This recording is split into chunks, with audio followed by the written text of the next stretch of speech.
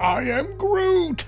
Guardians of the Galaxy is about to hit theaters, and you want to know is there a post-credit scene? There might be. Two. Hey everyone, this is Digital Charcuterie. Please give us a like and a subscribe. Let's get right into it. Make this one a nice short video. James Gunn has confirmed that there will be two post-credit credit scenes in the Guardians of the Galaxy Volume 3. He has made mention of these post-credit scenes, though everyone is tight-lipped on what they are. He did kind of go on to say that they're not always setting up things to come in the future. We had the Captain America one and whatnot in Spider Man where it was just a joke. So don't necessarily go into this thinking you're going to see major setups for future events in the MCU. After all, this is the final ride for the Guardians of the Galaxy. So think of it more probably as something to tie this up in a little bow. They did also mention the shawarma scene, so maybe it's just a fun last scene together of the Guardians, whoever survives, because it's looking like some aren't going to make it out of here alive. Also, some Adam Warlock news. Apparently, the character only has about 10 minutes of screen time in total in Guardians of the Galaxy Volume 3, which might be just enough for his debut and then bring him to become a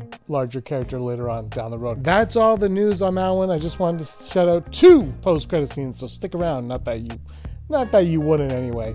Thanks everybody for watching. Give us a like and a subscribe. But until next time, may you be the master of your own universe.